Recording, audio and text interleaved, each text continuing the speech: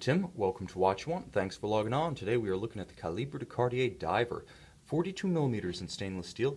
If you like this Calibre de Cartier, you can see it and you can buy it on our website, watchyouwant.com. If you enjoy these videos, please subscribe to our YouTube channel, Watch You Want Inc. Now you can see on my wrist, six and a third inches, 16 centimeters in circumference.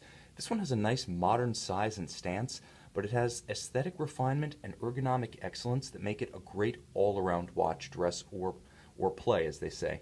The bottom line is only 11 millimeters thick. This one's a full 2 millimeters thinner than most of the Super Case, Rolex, you know, professional or oyster cased watches, the likes of your GMT Master 2, your Submariner, certainly any sea dweller. This one will fit under a dress cuff because it has a minimal cantilever to the bezel itself, and with a low stance on the wrist, there's really no problem wearing this under a sleeve, not just over a dive suit. Moreover, it has the richness of something like a Blancpain 50 Fathoms, a real Cadillac style dive watch, but unlike the 45mm 50 Fathoms, the 42 of the Calibre wears nice and compact on a smaller wrist. I'll even say that it wears more compact than its 42 suggests. And here's the key a cambered case that really wears more like an ergonomically sound tonneau case, in as much as it curves and thrusts downward. Nice short, downward thrusting lugs, only 46 millimeters from the extremity to extremity. So again, about 2 millimeters shorter laterally than even the smallest of your Rolex dive watches, the Super Supercase Submariner. The watch also features a nice flexible strap. So even though it conforms to the flank of the case, that is, it has a curvature that matches the curve of the case so there's no gap between the two.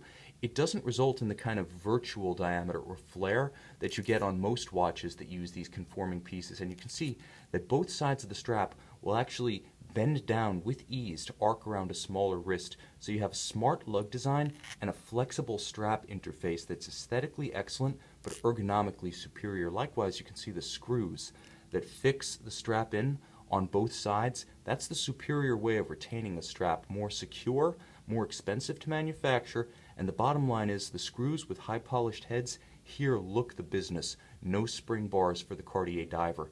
Wonderfully done. The strap is of excellent quality, very supple, surprisingly thick.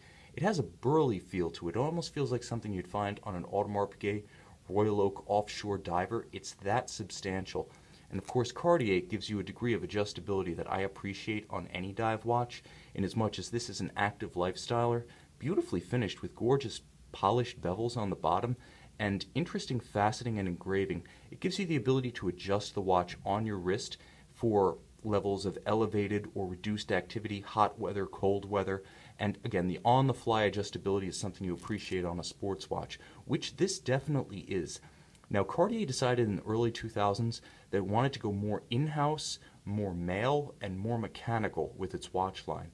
Although a major force in wristwatch distribution, that was primarily in the field of women's watches and quartz watches. So they launched a Manhattan program first to integrate all of their watchmaking activities, with the exception of a small operation in Geneva.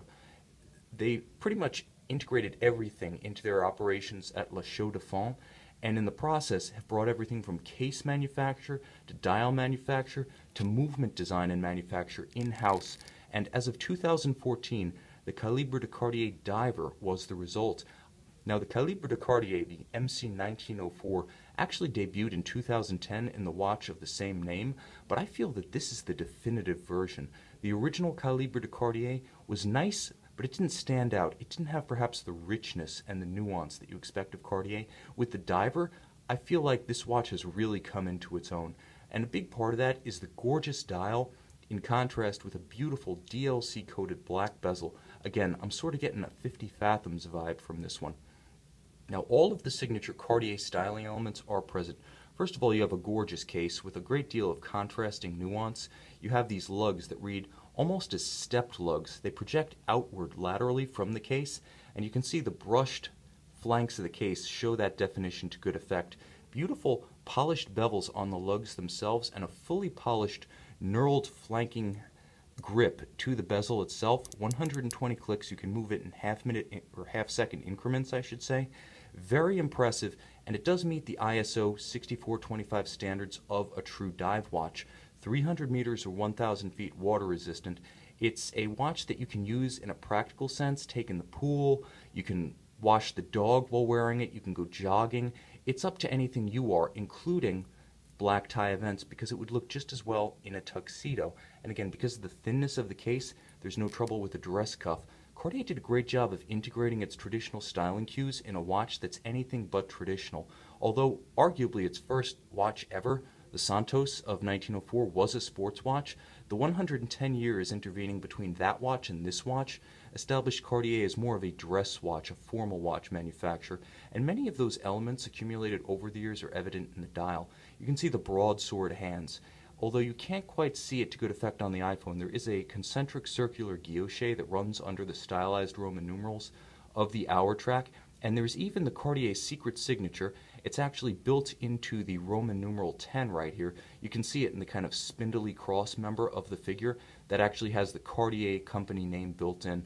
It's a gorgeous representative of traditional elements incorporated into sort of an avant-garde treatment, taking something obviously the dress watch motif and incorporating it successfully into a dive watch with a few winks and nods to high style. So practical, but also very presentable. You can see the expanded aperture for the date, an element that I like to have on a sports watch, as well as beautiful luminescent elements that are practical in every sense, lumed uh, triangular index on the bezel, unidirectional of course, fully lumed Roman numerals, broad and heavily lumed hands, the one, shall we say, whimsical element of the use of luminescence here is the small second subdial at 6 o'clock, which features a huge luminescent track.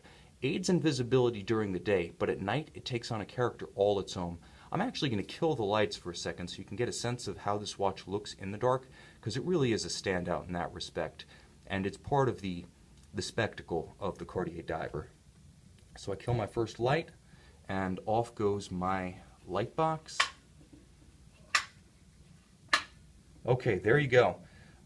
A sight to behold and instantly recognizable even in the dark. The Cartier Diver is a true dive watch in the sense that you will have no trouble reading the time in day, night, or low light conditions. Distinctive and whimsically so, it's practical at the same time. And to me, that is the essence of a great two-way player, a dress or play watch, a watch that has full credentials as a sports watch, but also has the ability to pair up with more formal attire. And with a manufacture movement, a Cartier-built case, a Cartier-built dial, almost everything is constructed in-house. That's the last part of the equation. Cartier's project to really make itself a manufacturer of reference, not just an établisseur that assembles purchased parts.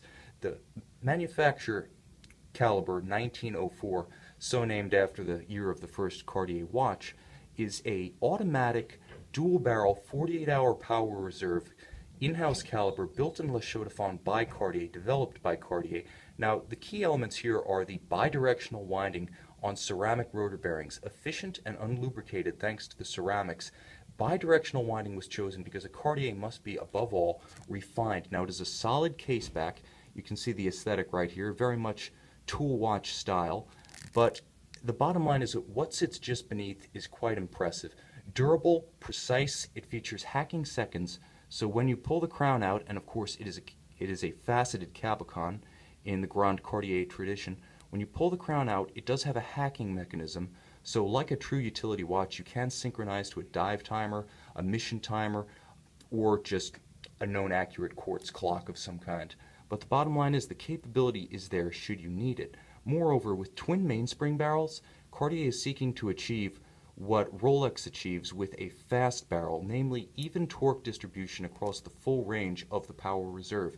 It's comparable in power reserve to something like a Rolex 3135, but the contrasting approaches pretty much come down to Cartier's determination to use this movement to drive complications in the future, hence the use of twin mainspring barrels, whereas Rolex, knowing that its caliber is going to be for simple time only or time date or time GMT watches, goes with the single barrel and fast rotation.